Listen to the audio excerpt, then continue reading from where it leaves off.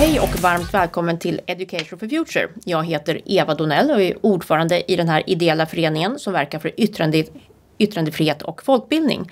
Eh, och så gillar, gillar vi människor som tar initiativ till saker och ting. Och just därför har vi läkare Anita Nilsson här. Varmt mm. välkommen! Ja, tack! Du har påtalat bristen på legitimerade undersköterskor. Ja. Eh, varför? Ja, vi har inte det i Sverige. Om man tittar i våra nordiska grannländer Finland, Norge och Danmark så har man eh, legitimationsgrundande utbildning. Den är mellan ungefär tre år med specialistkompetens som står i fronten i både äldrevård och all sjukvård.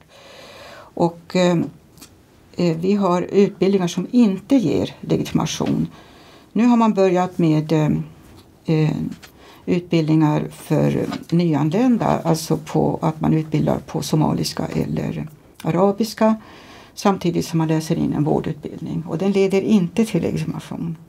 Och jag har tänkt väldigt mycket på det här att skulle jag som läkare kunna lä läsa in en vårdutbildning på arabiska eller somaliska, nej jag, jag tror inte jag skulle klara det faktiskt. Eftersom det är så mycket man, som man måste kunna som undersköterska. Man måste hygien, rutiner, provtagning, omvårdnad, hur man eh, ja, beter sig i en, eh, mot sjuka och eh, ja, hur man tvättar, hur man matar, allt det här lär man sig ju. Och eh, um, har man inte en legitimationsgrundande eh, utbildning så kan man aldrig ställa någon till ansvar. Och, och, och tittar man i organisationen som det ser ut nu så är det ju väldigt svårt att hitta någon som har ansvar överhuvudtaget. Vi har säkert sett i tv när det har hänt någonting på ett äldreboende att eh, någon, kommunen säger ja, det här ska vi se över och vi återkommer. Men det finns, vem är det som är ansvarig för det här? Så det faller, alltså det rinner ut i sanden? Ja, om, om, om man är inskriven i hälso och sjukvårdslagen då har ju Socialstyrelsen eh, ansvar. Ni som uppskattar Education for Futures engagemang för yttrandefrihet får gärna donera via Swish. Ansvar för att eh, eh, se om, om vi ska deslimiteras eller få prick eller varning eller så. Men här kan man inte göra det om man inte har legitimation. Och det är alltså en stor brist ja, i Sverige? Då, ja, det kan alltså? man säga att vi ligger efter utbildningsmässigt om man jämför med våra nordiska grannländer. Kommunal har ju ja, ja, man kan säga tjatat, ja de har bett om att få en en utredning och den blev klar, det var väl 2019. Men den eh, bör man ju titta närmare på. Vad hände efter den? Vi, vi har inte en legitimationsgrundande. Och egentligen är det väldigt enkelt. Man skulle kunna ta lärare från Finland som kom hit och hjälpte till med att bygga upp en, en legitimationsgrundande undersköterskeutbildning. Det gör man inte heller.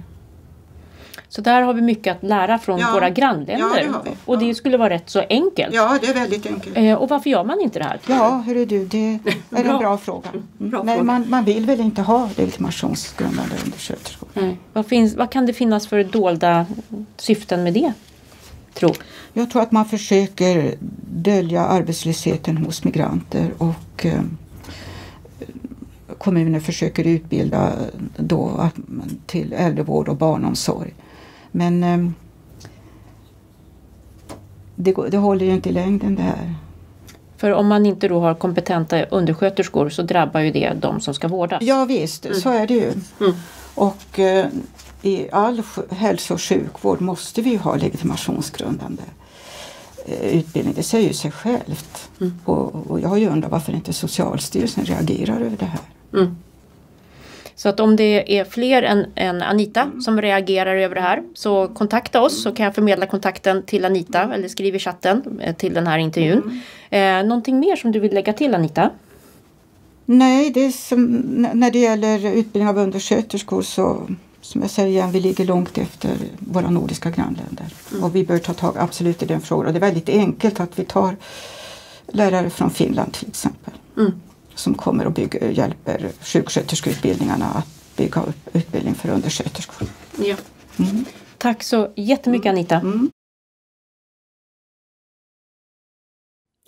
Tack för att du tittade på den här videon. Kom nu ihåg att prenumerera och att klicka i ringklockan bredvid så att du får en ny video från oss så fort som möjligt.